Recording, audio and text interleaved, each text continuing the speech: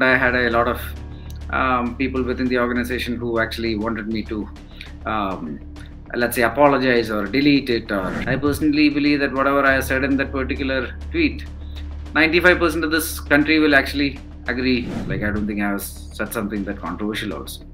But even to that, if people are uh, this intolerant, I am not um, for the ban of this documentary in any manner.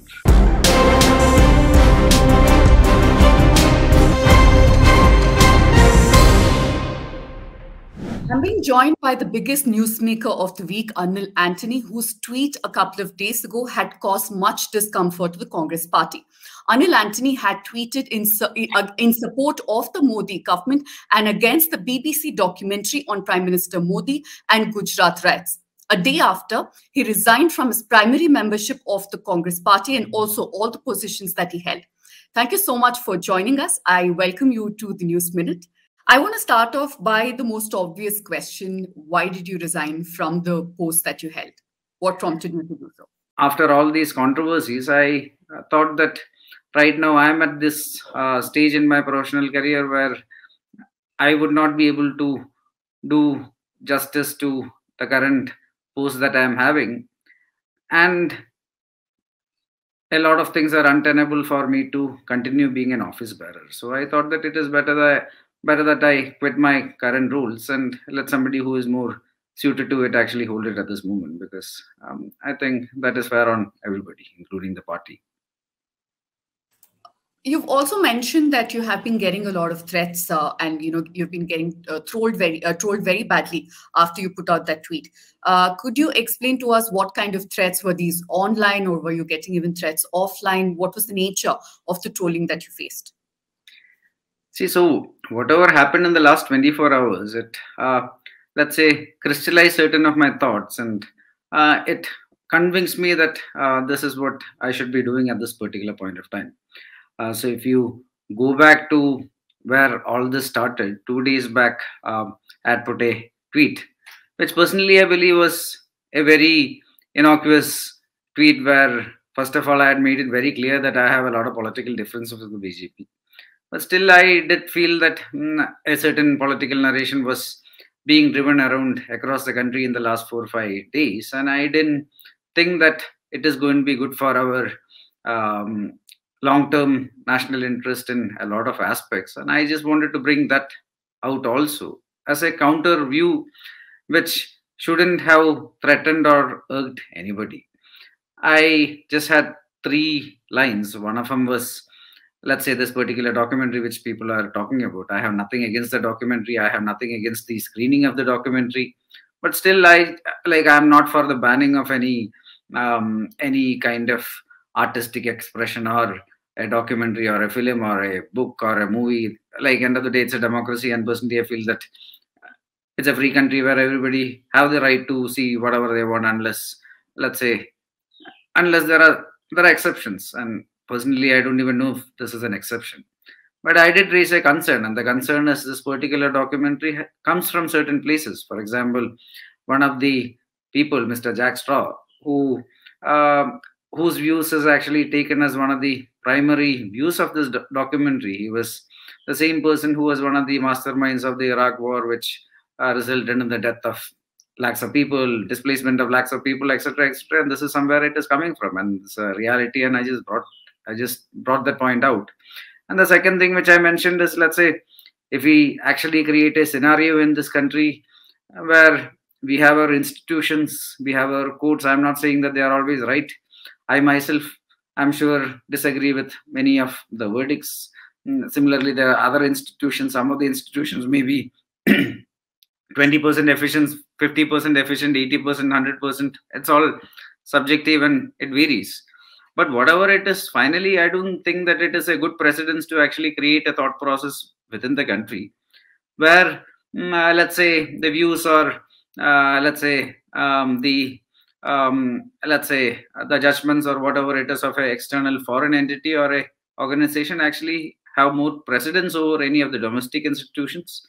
Because that i personally believe that will in the long run uh, it will dilute a lot of our critical national interest, including sovereignty. So this, so there are three, four of these thoughts, and I just put it as a very innocuous tweet. And personally, I don't think that I have spoken anything against the uh, views or values or anything of the party, and I don't think that it was meant to, let's say, create so much like political hurricane that it created in the last two days. So I found it very surprising and amusing. But when that happened, again, like I said, I don't think that I did uh, say anything against the party line or uh, party values or party policies, etc. But at the same time, once this started becoming a little circulator around, I had a lot of um, people within the organization who actually wanted me to um, let's say apologize or delete it or let's say mm, um, or um, uh, let's say um, or give a counter view telling something else also. And personally I, I didn't do that because i thought that whatever i was doing is based on my convictions and my own um, uh, let's say whatever i think is the right thing. And i stood by what i did.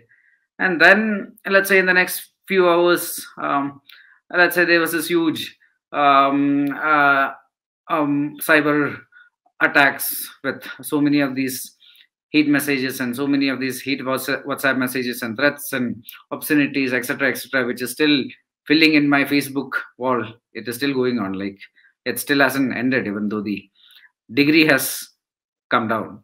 So all this has been happening, and then when that happened, like personally, I felt a little disappointed by many of my fellow colleagues because I felt that, let's say, finally we all work together, we may have our differences, but this is not the way to handle certain differences. And we all claim that we are, let's say, trying to fight hatred, we are trying to, let's say, unite everybody, we are fighting for free speech. And finally, like if you can't even tolerate one sentence which doesn't even go anything against your organization's any core belief or any core value in any manner. And i personally believe that whatever i said in that particular tweet 95% of this country will actually agree in various aspects like i don't think i have said something that controversial also. But even to that if people are uh, this intolerant then there is a certain um, disconnect and I was fairly disappointed with the whole scenario. Uh, I want to focus on one part uh, of your uh, reply right now. You said that you were asked to delete or explain your tweet or perhaps even put a counter view. Was this uh, done through official channels or were there party colleagues who were encouraging you to do that? How did that play out? Were you officially asked by the party high command or the office bearer to delete this tweet? So, officially, a lot of unhappiness regarding what I did was expressed. Uh, then there was a lot of pressure come from different corners, including my colleagues, to do either of these three, four options. And then there were public statements from very a few very prominent congressmen, including the leader of opposition and the youth congress president, etc., etc., telling that I have spoken something against the party point of view, which I personally don't believe in any manner. And then it just kept on escalating. So I do understand where things are coming from. Like I have been seeing this organization ever since I'm a kid. I understand the structure in this organization, so I understand where things come from. So, uh, uh but I was not willing to, uh, let's say, step back or let's say rescind or do any of those things because I do feel that I stood for my own beliefs. And like i said like it's a certain thought which vast majority of this country will actually agree with and resonate with for good reasons I want to ask your reaction to a tweet, uh, you know, put out by one of the senior leaders of Congress Party, Mr. Jairam Ramesh. Yesterday uh, evening, he put out a tweet comparing you and uh, Mr. Oommen Chandy's son, and uh, he somewhere questioned your commitment uh, to the party and also the Bharat uh, Jodo Yatra undertaken by Rahul Gandhi. How do you react to that? You know, I can. I saw the tweet. Um, I can completely understand if he is a little upset because the initial resignation letter, I had sent two different resignation letter, one to Kerala, to my PCC president, CC, to Dr. Shashi Tharoor also, since he is the chairperson of that cell. But ironically, a few months back, he has resigned also from that particular post. But that I don't, nobody knows if it is even accepted or not. So I CC'd him also. And in the national level, I uh, did send another resignation letter, which is what in the redacted format I had uh, put on Twitter yesterday. Mm, and uh, it was one of the people it was addressed to was Mr. Jairam Ramesh because he is the head of the communication department also. Uh, so I can completely understand if he's a little upset or uh, by my action, and and I do understand if he's unhappy also. But as far as this yatra is concerned, I don't have any official responsibility in any manner. So with everything else that is going on in my life. Like i don't think i have the time to just walk around here and there without any purpose. Uh, so i don't feel uh, any regret and, or let's say i don't think like of course two people are doing different things but i, I think it's comparing apples and oranges. I want to also you know talk about your tweet, and you have uh, the last line in particular where you said that this could compromise the sovereignty of the country. Uh, how does this document? One, I want to know if you watched the BBC documentary. The second part is also out now. Have you uh, watched either of them? And two, why do you think it uh, compromises the sovereignty? How can a documentary uh, compromise the sovereignty of a country like India? So again, uh, so this is about how we interpret things. I the last sentence like now i can't exactly remember the wording so if, let me just check about it. But generally like essentially what i said is it's, it's setting a precedence which in the long term could undermine the sovereignty. That is what i said and that is something which i would stick by even now. I haven't said that this documentary is going to undermine the sovereignty. Like india's sovereignty is actually something which is way beyond um, any documentary or any cause can just let's say undermine or destroy in in a moment or anything like that. It is a very strong uh, thing. But at the same time let's say there are certain precedences which if we set in the long run definitely can create certain challenges. I just want to again ask you if you've uh, gotten a chance to watch the documentary and what no, I haven't watched the documentary. no i haven't watched the documentary. I've seen certain ex experts of it, but at the same time, like I haven't watched the documentary. No, I haven't. So, what are your specific objections to the documentary? So there is, what? like, end of the day, like, I, like I'm fairly sure that several aspects are things that is a reality, but at the same time, my my objection was not really on, let's say, the documentary or its content because I don't even know what the content is. It is about, let's say, I'm just cautioning about its origin, where I'm saying that, let's say, some of the people behind the documentary are also the same people who are actually the masterminds behind the Iraq war, and that is a reality. And the second thing is, end of the day, like I'm not very impressed by a lot of people, including my colleagues, who suddenly says that since it is BBC, it is the gospel truth. Because again, that is not something that I believe in. Because end of the day, just two years ago, like uh, there was this incident where uh, there was a map of Kashmir that was uh, published by the B BBC, where half of Kashmir was not there, and then there was a lot of backlash, and they had to apologize, and they had to uh, they had to publish the actual map. So this is where this platform also come from. So just because they say it doesn't mean that it is true in the country, and it's a reality. So this is the two things I said, and I still stick by it. Right. Uh, but be that as may, I just want to ask you as a journalistic exercise, uh, irrespective of what the Supreme Court ruling has been, which, by the way, has only uh, cleared Prime Minister Modi of any criminal conspiracy. Uh, but is uh, what is the problem as a journalistic exercise if any news organization has gone and done its uh, investigation and put out the truth with considerable space? Let's remember, given even two supporters of Mr. Modi, because Swapan Das Gupta, who, who is a very vocal supporter of Mr. Modi, has also been, uh, you know, given ample space. So as a journalistic exercise, why can't that be done? There is nothing wrong in it. Like, so here, this is why I keep on saying again and again, like I am not for the banning or blockage of any artistic expression, including this documentary or any doc- documentary or any book or any movie or any show or anything like that. So that is an entirely different um, issue itself, and this is a uh, um, particular issue where I don't think me and many of the people who are suddenly shouting against me have any differences at all. Because I do feel that there is nothing wrong in, let's say, anybody doing a certain journalistic um, exercise, nor there is any problem in them screening it or displaying it to the public in any manner also. Because end of the day we are the world's largest democracy that is something which we are very proud of and in a democracy uh, things including freedom of speech and freedom of expression are something which are very sacrament if you want to ensure that we remain a democracy so there is nothing wrong in any of those things so, in that sense, uh, are you opposed to the blocking of the documentary by the union government? Is that something that you oppose? No. No, no. I'm like end of the day. I don't. No, no.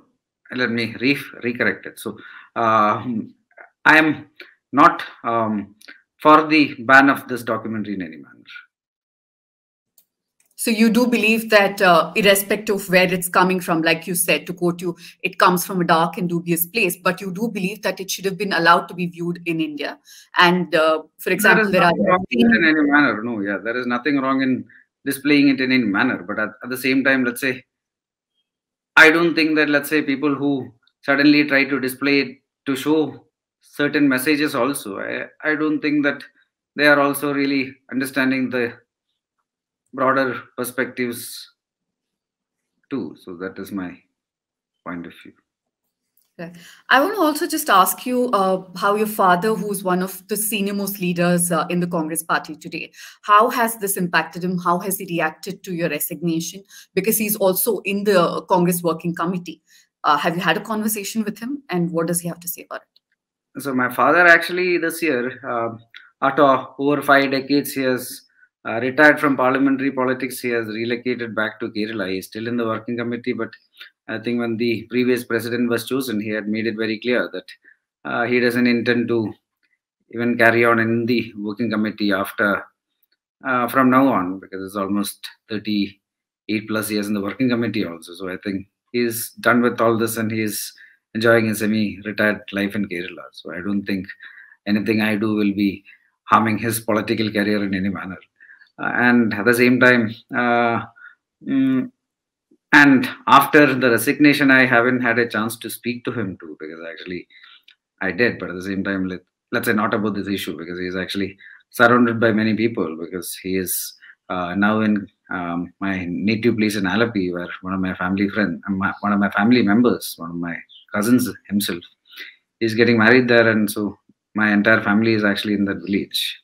And there are quite a lot of people around and we haven't really had any time to speak about it um, i'm not even sure that uh, he will agree to whatever i did too but um, i do think that he will understand or appreciate the thought process behind it because personally i, I think that whatever i had done i had done it uh, based on whatever is my best uh, understanding and whatever is my best um, beliefs. And uh, it, it was based on my convictions and what my conscience said. And nothing has changed ever since so at this moment that is where things are one of the criticisms that some of your colleagues in the uh, you know in the Kerala unit of Congress have come out with is that uh, you were waiting for a reason to resign, and you have taken a you know a step back since the assembly election, since the Congress lost the assembly elections uh, in Kerala. How do you respond to this? so i had already mentioned about the scenario like it was not waiting for a reason to resign. It was actually like we were trying to create a platform where we wanted certain changes to be made. And for the last 16 17 months those changes haven't happened. So these are two very different um, things altogether. Like uh, i was never let's say immediately after the assembly election I was not thinking that, okay, next time an opportunity comes, I'll just jump out. That is not the scenario at all. After 21, uh, the 21 elections for us was a, uh, it was not the greatest of results for us, where uh, for the first time in almost four decades, uh, an opposition party did not come to power after the election, did not form a government after the election. So this is the first time in almost four decades that is happening. Then the party in Kerala, the state unit had a lot of churn. A new PCC president came, a lot of new team came, like a lot of churn is still happening. And then um, our unit got dissolved. So at that moment, Dr. Shashi Tharoor and I were the only two people who were suddenly in the unit. Everything else were no longer existing. And then, let's say, one year back, there was a scenario which prompted Dr. Tharoor himself to resign. So now I'm the only person in that particular unit officially. And we have been telling the party in the state uh, to actually at least create a working team for us to take things forward. But it's almost 17, 18 months and it hasn't happened. So finally, I've so these are all different, different things which uh, led to yesterday because end of the day like we all need to um, if we are doing something like we need to keep moving forward and if that forward motion is not there then i wouldn't want to be stuck in a scenario waiting indefinitely for anything forever uh, I want to also ask if you've had a conversation with the Dr. Tharoor, who you also thanked in your resignation letter, and also what you think of his views uh, in one of the interviews that he's given to Barkha Dutt, where he said that you know everybody's moved on, even the Muslims in India have moved on from the Gujarat riots, uh, which happened 21 years ago. So it's time everybody moves on. I want to know what exactly your views are on that statement.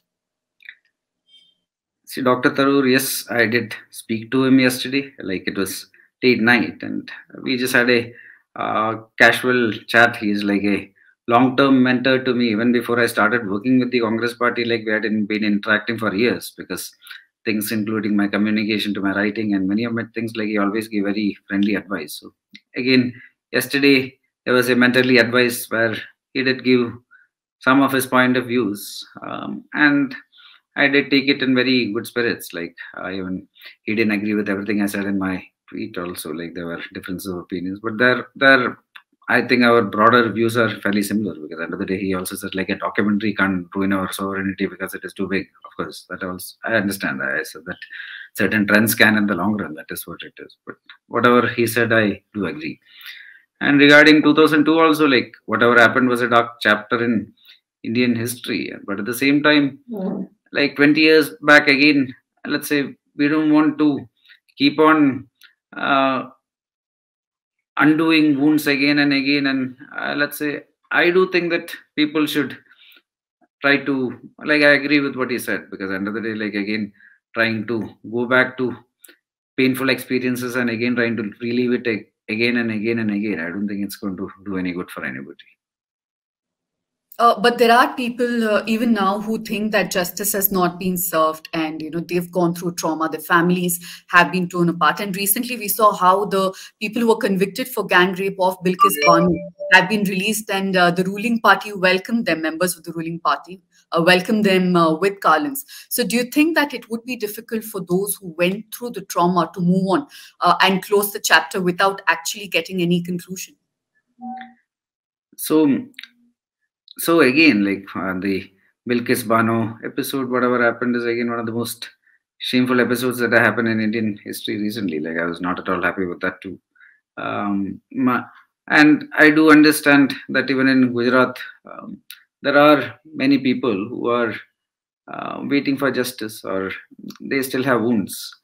Um, but uh, the way to do it, like personally, I think it has to be done in a manner where we don't try to reopen the wounds and again and again and again and try to create a national narration built on it. It should be focusing on the victims and perpetrators and trying to bring justice there and not to make it into a political narration. Before I let you go, I want to ask you something. Many people are wondering politically what next for Anil Antony. Will you uh, look at joining some other party perhaps, or uh, uh, what will your course of action be? At this moment, I have zero political plans at this moment. There is nothing I have um, thought in any uh, manner because whatever happened in the last 24 hours went in a whirlwind, like 48 hours actually, two last two days. So today is actually gladly um, one of those days where I'm just finally having a breather. I haven't really thought of any future political plans. I'm uh, at this moment, I have uh, zero plans to, let's say, pursue anything else. I am more interested in pursuing my other professional activities at this moment, which I really like doing also. So at this moment, I that's that's my priority. Right. Thank you so much for your time. I understand it's been a busy couple of days. Uh, so I really thank you for taking our time. And we here at the News Minute will track uh, what you do and what the fallout of this entire thing is. Thanks. Thank you. Thank you. Thank you for your time today. Thank you.